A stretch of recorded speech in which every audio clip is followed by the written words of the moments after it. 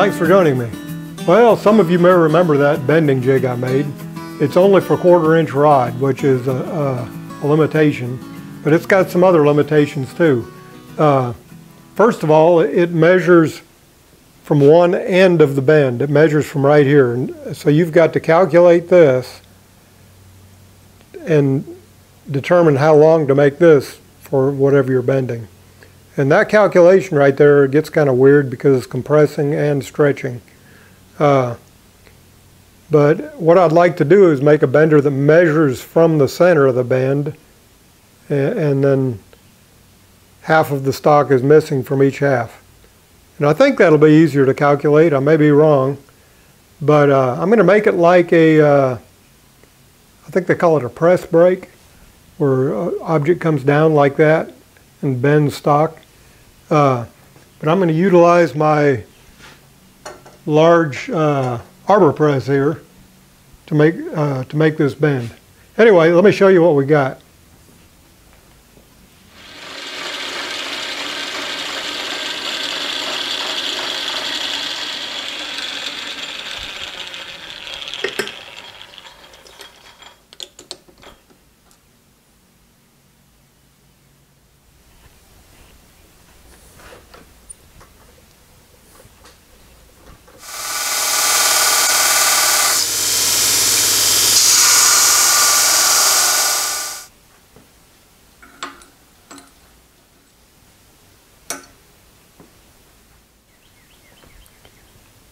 Okay, I've got these V rollers here, surplus from something.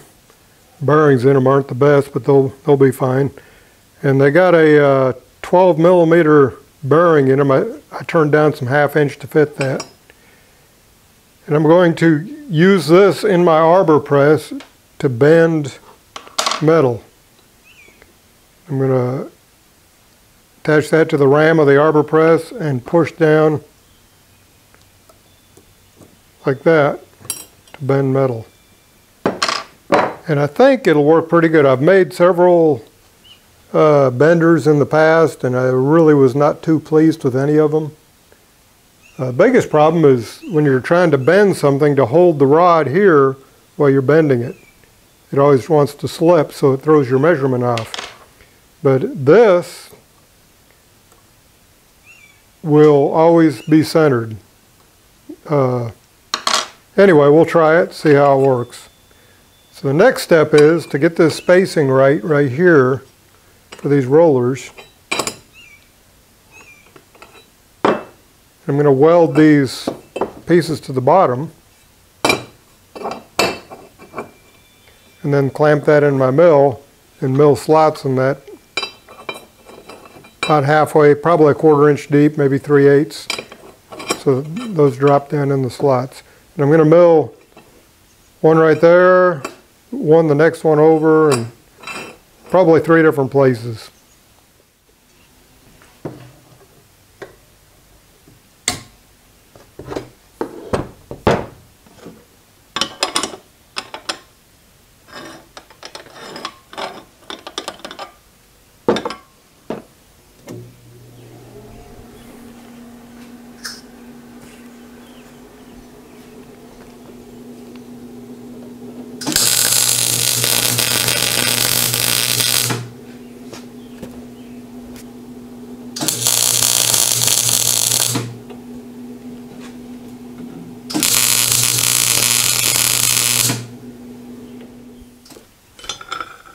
Half inch radius is about the smallest bend I'll make. So what I need to do is measure the spacing here. It's one, two, and an eighth. Two and one eighth.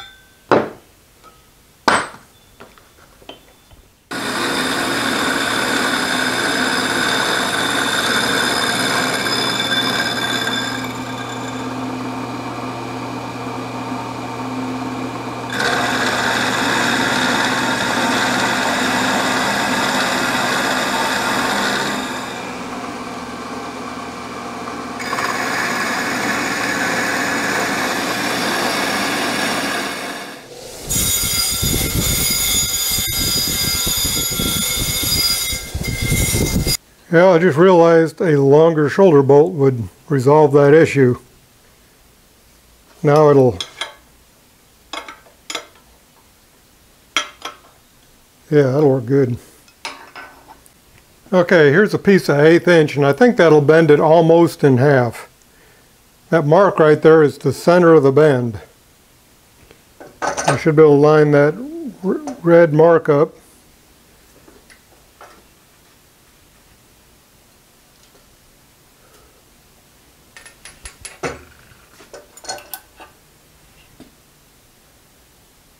Hmm, seemed to do pretty good.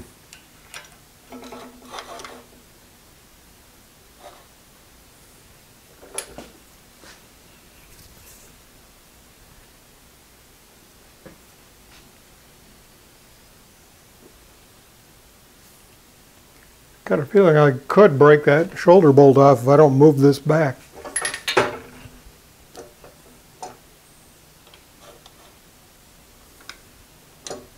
That'll work.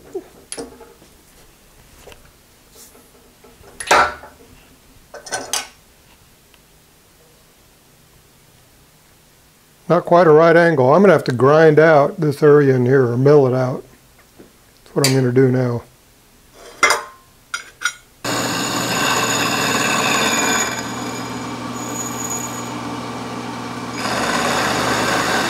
What I plan on doing, I'll probably do it at a later date, is putting some rollers on that. In fact, I may have some rollers.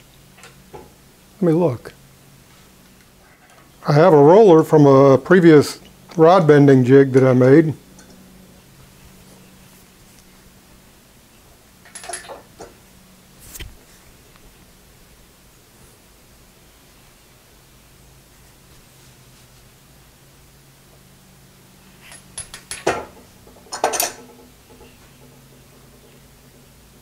I like it.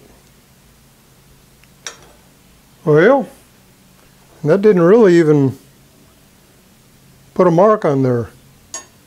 So that, that,